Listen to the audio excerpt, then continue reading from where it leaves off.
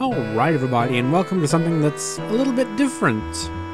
Uh, this is a bonus video for Quest for Glory 5, where I show you the stuff that uh, I kind of forgot to do the first time. And you can see my terrible creation of the hero and hero, uh, what is it called? I don't even remember. It's this program we all used to use back in the day to make D&D portraits. The Whirlwind spell. So you actually have to visit Erasmus twice before day 3. Um, there's no real reason to do this though, so I didn't do it in the LP. But yeah, you visit him on the second day, and he's got a little bit of special uh, dialogue for you here. The doors begin to open for us, and we step right on inside.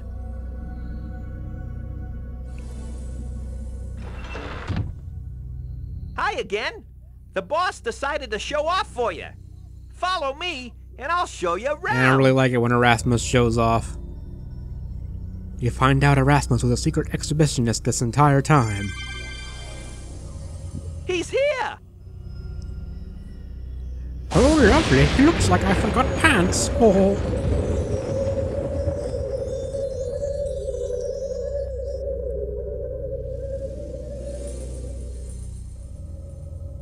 And it makes a little smiley face, and then he appears. Yay!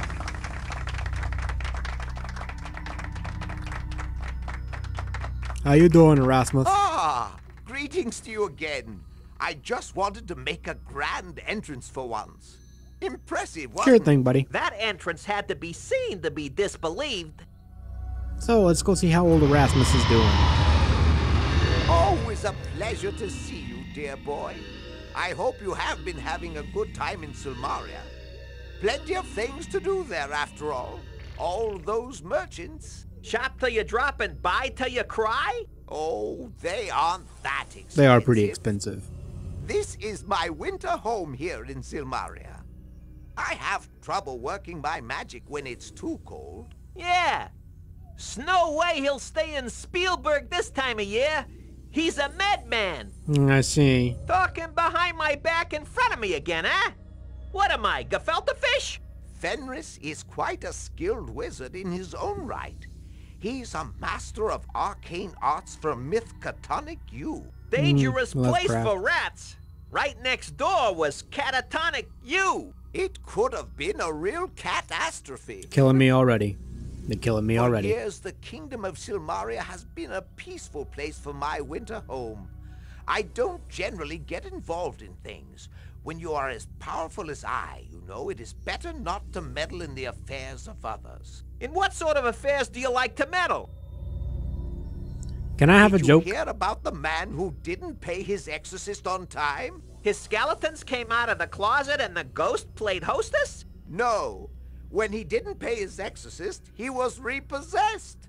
Repossessed! Get it? Just I'd a rather spell. I didn't. Oh, yes, of course. Here, take this scroll. You will now have the Scroll of Whirlwind. It's a wonderful spell. Yeah, it'll really blow you away. Kill me. So this one automatically reads itself for you. I look in my inventory anyway because I'm a doofus. Here's what the icon looks like. It's pretty, uh, pretty spiffy. So I decided I would demonstrate it for you guys in combat right quick. This is post commentary, by the way. I'm sure you can tell, but so yeah, it's actually really good for crowd control, even though you don't really need it. It's easier to just frostbite everybody to death. But uh, yeah, you can just put a little spin on your enemies, so to speak, and uh, blow them to hell.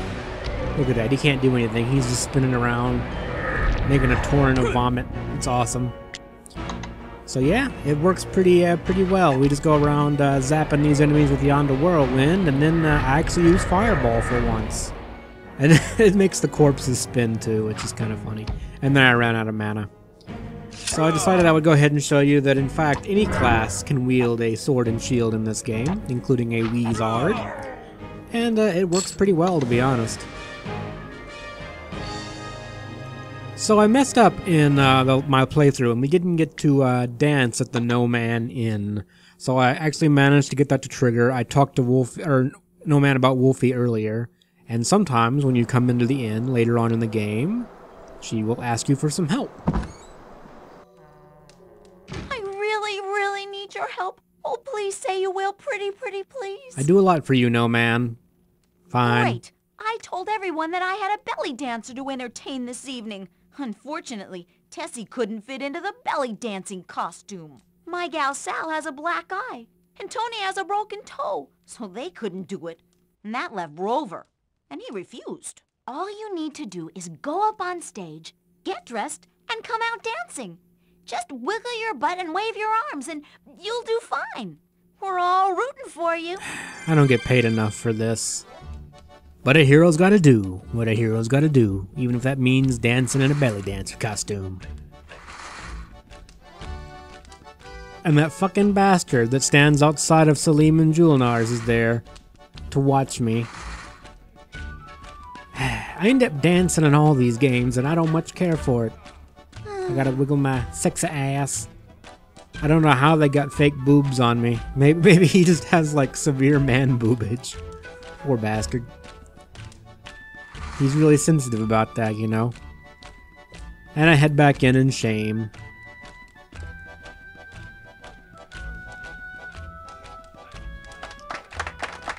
Yay!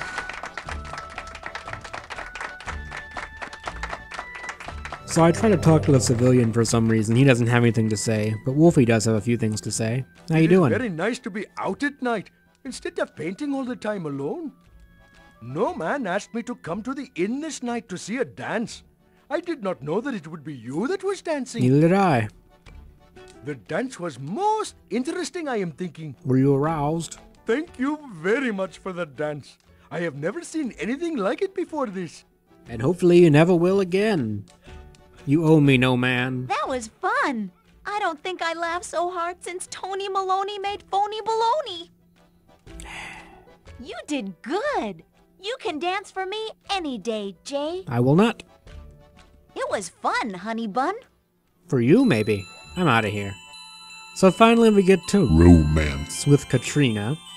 Something that I talked about doing when I was doing my playthrough, and honestly, I didn't even wait to hear if you guys wanted to see it. You're seeing it whether you want to or not, damn it. So we just paid our life to restore Katrina back to, uh, life. And she's gonna talk to us here in a minute. So I've been told. You have given your life to bring life to death. Her soul shall soon be free. I see light before me. I am awakening from this nightmare at last. Yay! Meet me on the island known as Zante. I will be awaiting you there. Couldn't you come out with me? You could ride in my beautiful balloon. I guess not. So we hop on over to Zante, hop off our sexy balloon, and we uh, go pay Katrina a visit. And she's looking rather glum, and I forgot to eat earlier, so I grabbed some uh, some apples, I guess. So she's got this door that leads to nowhere, and you gotta knock on it. And don't try to pick the lock, or you will die. Welcome to my new home. Forgive me if I do not meet you in the daylight. I am still unused to such glorious brightness. I thank you greatly for freeing my soul from the realm of death. I have been dead for so very long, and it is wondrous to be alive once more. Yes, it is quite special, isn't it? So how you doing, Katrina? It will always be a pleasure to see you. As you can tell, I have been very busy since being reborn. I am building again the walls and barriers which separate myself from outsiders. I enjoy my newly regained privacy immensely. I remember little of that place, other than being haunted by unpleasant memories and dark nightmares there. I had been undead for so long, I had forgotten what life was like. I have now died twice, and neither was pleasant. I do not recommend it to you. Immortality for the price of life is far too expensive a cost. No, it isn't. Mordavia was my home for decades. I considered myself to be the liege lord there. I had not intended to harm the people there. I just did not realize that my summoning of the Dark One would destroy Mordavia. I find am that really hard to know believe. that the folk there are safe, despite the dark magic that was almost released. I have another spell that you should learn. It was one with which Ad Avis almost defeated us in the bowels of the Dark One. I taught that spell to Ad Avis. Now I teach it to you.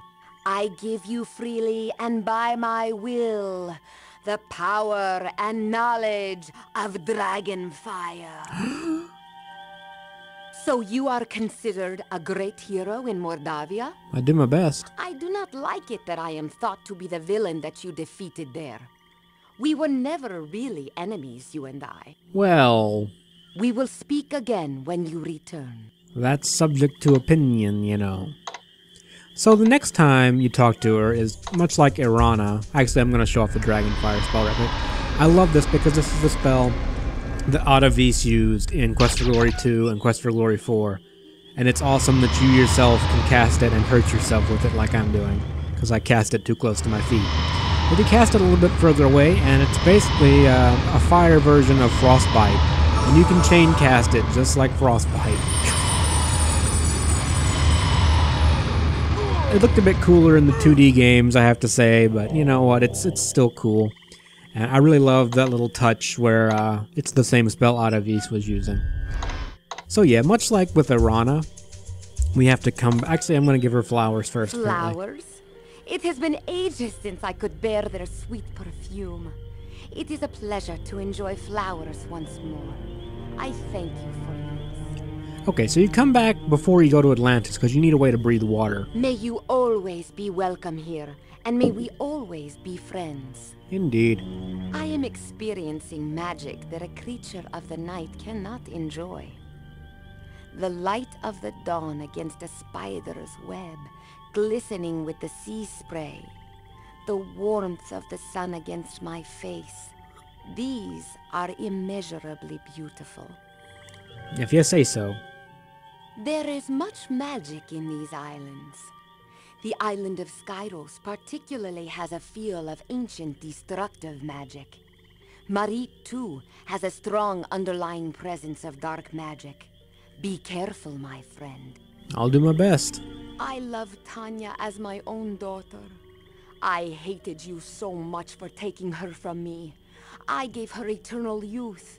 You gave her mortality. It grieves me to think she will be happier in her life without me than she would ever be in the undeath with me. I miss my beloved Tanya, and hope someday she will remember me with kindness. I think she already did, You really. seek the kingdom of the sea?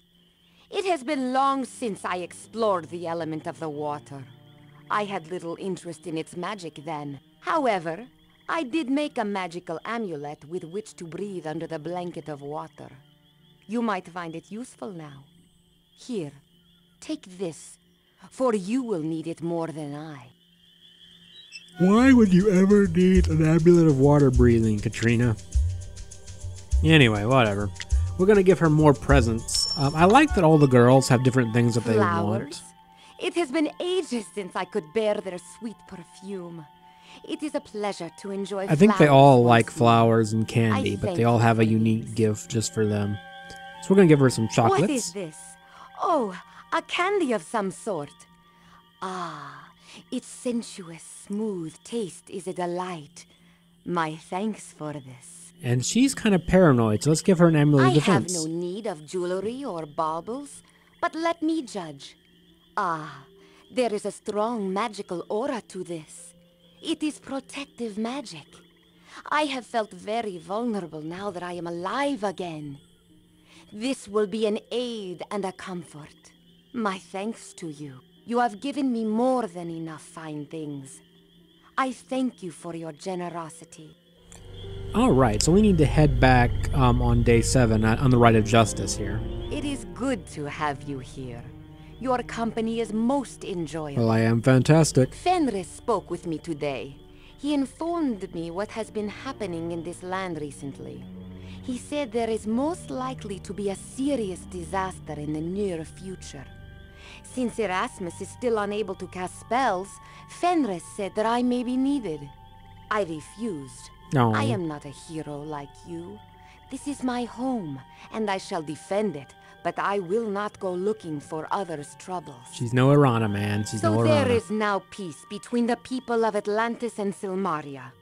Congratulations. You are now that much closer to the throne.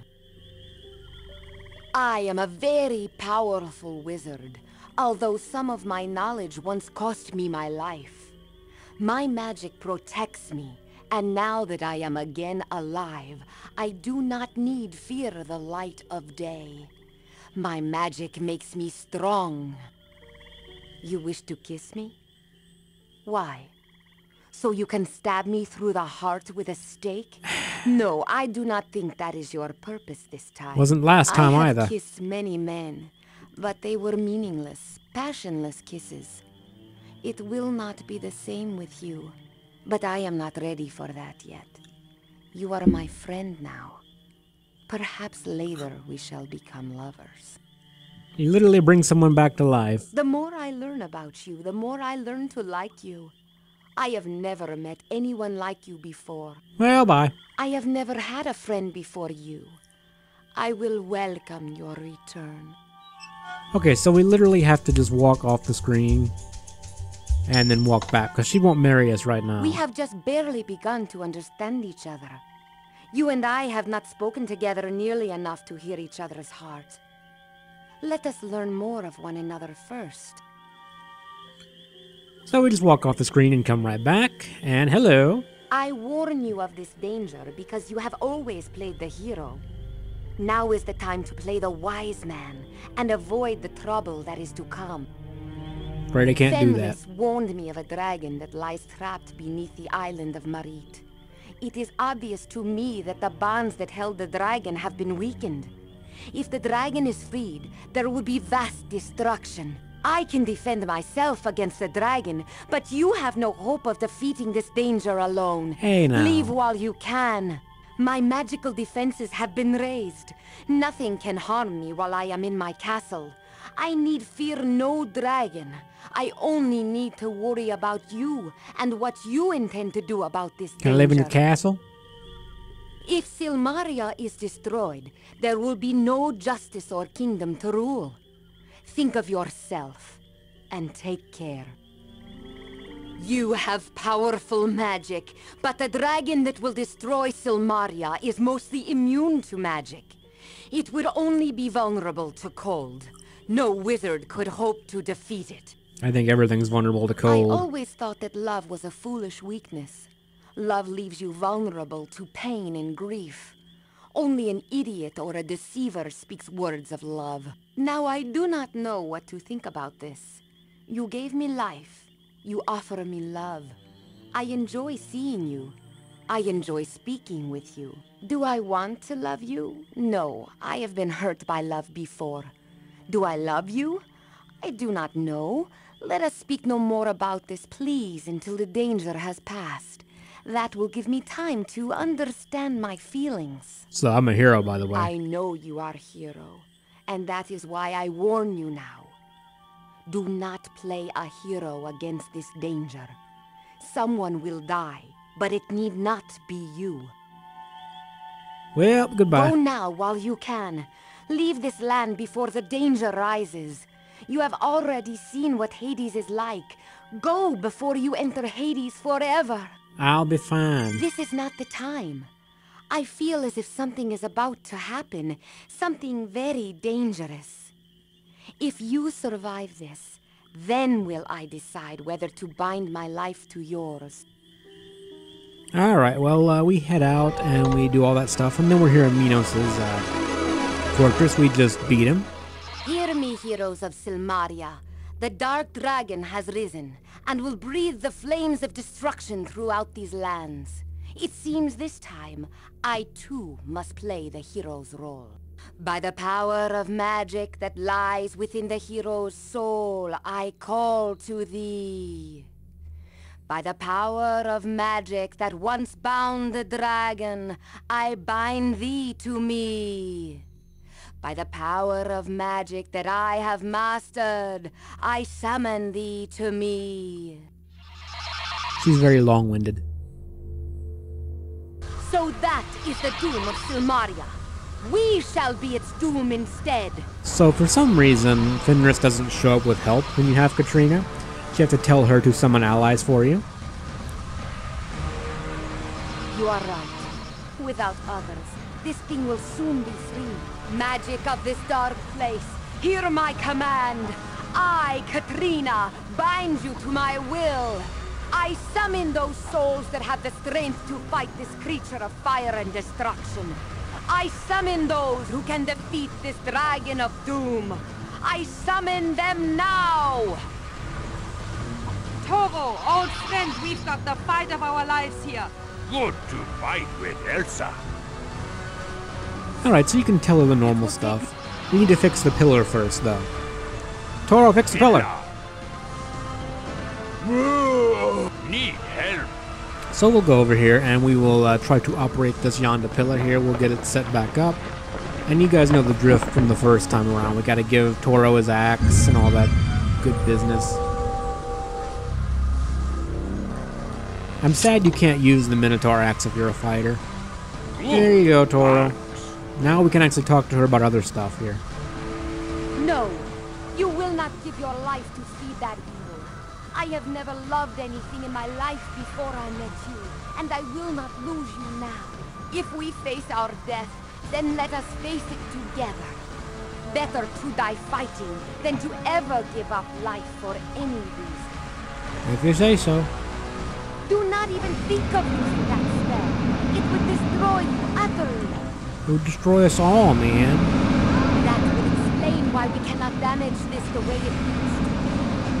The destructive magics within that dragon cry for blood. They will strengthen the dragon to they feed on the soul of death. We will not give them that satisfaction. Evil only grows stronger when it feeds. So like before, we're gonna just frostbite spam for this fight. And surprisingly, this fight actually goes really, really well for me. has gotten loose. Like this is a first take I did of this fight with Katrina, and it goes super well. I might actually fast forward through it a little bit. Because you guys already know how to fight the dragon, you've seen all that business.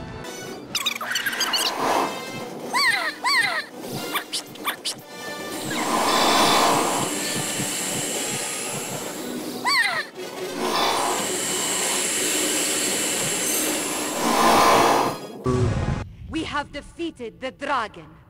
Evil that created such destruction has been banished from this world forever. Because we did not sacrifice of our blood willingly, the evil would dissipate from here. Although the price seems high, the end of this destruction was worth it. Now, my beloved, we shall have time to enjoy life. Indeed. So, uh, if you ever want to chain me up again, I mean, that that's cool, you know, I, I can get with that. So we come back here to uh, the Hall of Kings, and Logos does his, uh, the same spiel as before. It's, it's pretty much the same business. We're big damn heroes. We did everything right. We danced at the Gnome Ann Inn this time around.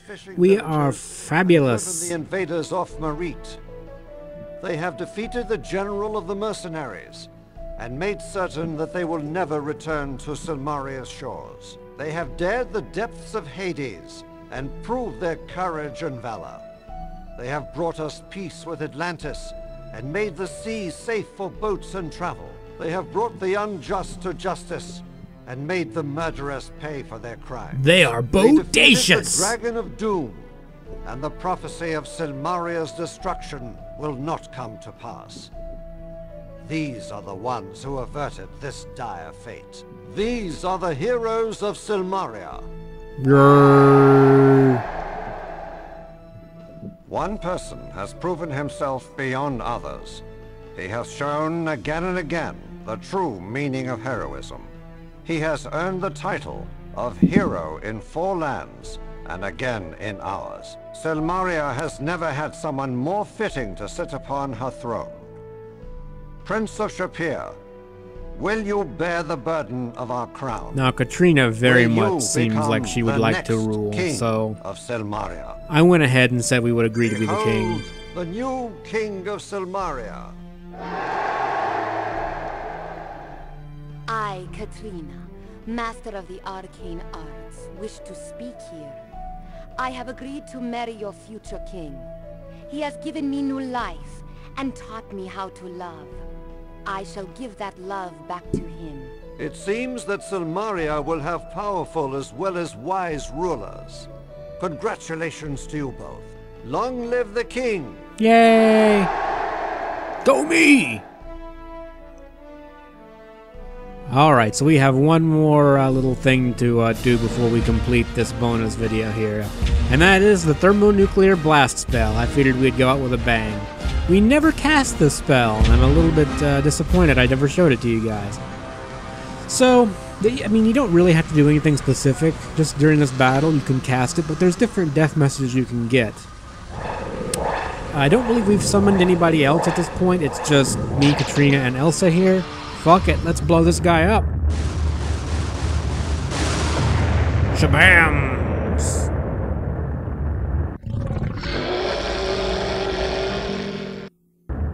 The ultimate spell of destruction was cast. You exploded a thermonuclear blast. You killed all your comrades, sent yourself to the tomb. However, you cast it while the dragon was still immune. So you blew it. The dragon lived through it. So anyway, we're gonna have to, uh, let's, this time we need to bind the dragon with the pillar. So let's do that. We're gonna have her summon uh, Toro and Gort, and we will have them help to fix the pillar. Need help. So we wait for them to get in position here. And we uh, lift the pillar back up.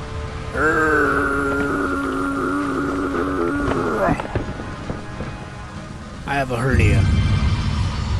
And then we uh, go in and we cast our thermonuclear blast spell again.